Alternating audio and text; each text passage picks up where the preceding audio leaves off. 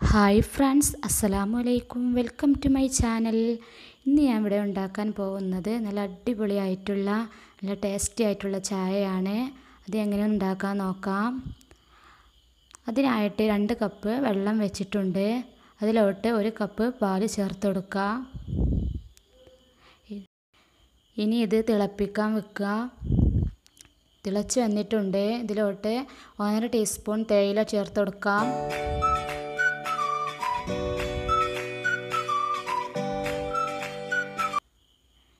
ഇനി ഇതിലോട്ട് ആവശ്യത്തിനുള്ള പഞ്ചസാരയും ചേർത്ത് കൊടുത്തിട്ട് ഫ്ലെയിം കുറച്ച് വെക്കുക.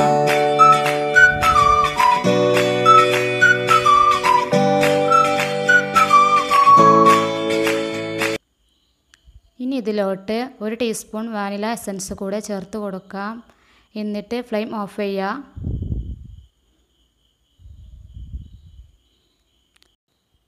ഇനി ചായ അരിച്ചെടുക്കാം.